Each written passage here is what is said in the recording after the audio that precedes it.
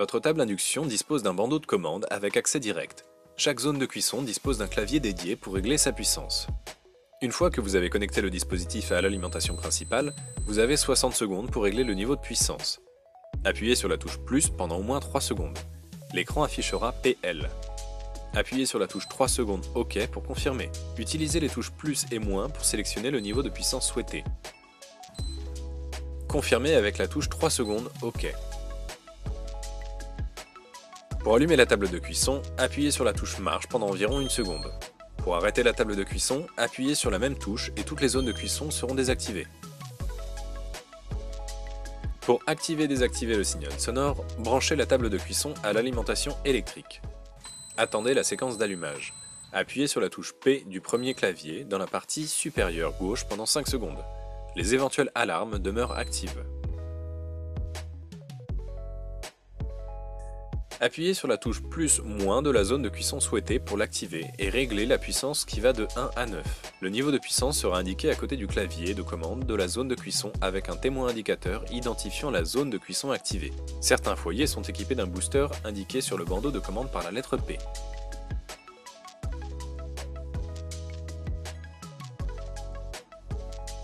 Appuyez sur la touche OFF sur la gauche du clavier correspondant au foyer que vous souhaitez désactiver. La fonction FlexiCook s'active en appuyant sur la touche FlexiCook. La fonction FlexiCook vous permet de combiner deux zones de cuisson et de les utiliser à la même puissance en couvrant toute la surface avec une grande casserole ou partiellement avec une casserole ronde ovale. La fonction reste toujours allumée et lors de l'utilisation d'une seule casserole, elle peut être déplacée sur toute la zone. Dans ce cas, les deux claviers gauche peuvent être utilisés indifféremment. Idéal pour la cuisson avec des casseroles ovales ou rectangulaires ou avec des supports de poêle. Pour désactiver la fonction, appuyez sur la touche FlexiCook. Les fonctions automatiques sixième sens ne peuvent pas être sélectionnées en utilisant cette fonction.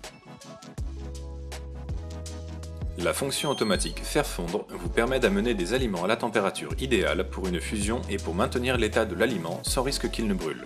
Cette méthode est idéale pour faire fondre le beurre ou le chocolat car elle les empêche d'attacher à la casserole. La fonction automatique mijoter vous permet de maintenir une température de mijotage pour cuire vos aliments plus longtemps sans risque qu'ils ne brûlent. Idéal pour des recettes à cuisson longue, riz, sauce ou rôti, ou des plats en sauce.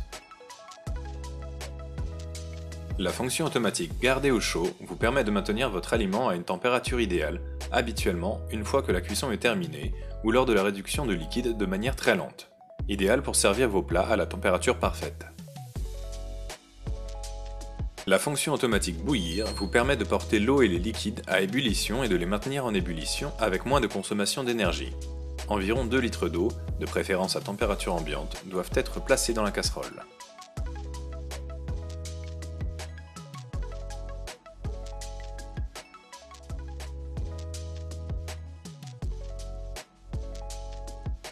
Sélectionnez la zone de cuisson et appuyez sur Off. Appuyez 3 secondes sur l'icône OK verrouillage. Un bip et un témoin d'avertissement au-dessus du symbole indiquent que cette fonction a été activée. Le panneau de commande est verrouillé, à l'exception de la fonction marche-arrêt.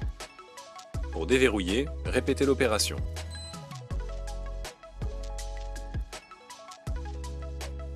Appuyez sur la touche plus ou moins pour régler le temps souhaité sur la zone de cuisson en cours d'utilisation. Un témoin sera activé de manière alignée au symbole spécifique. Une fois que le temps déterminé s'est écoulé, un signal sonore retentit et la zone de cuisson s'éteint automatiquement. Le temps peut être changé à tout moment et plusieurs minuteries peuvent être activées simultanément. Appuyez sur les touches plus et moins ensemble jusqu'à ce que la minuterie soit désactivée.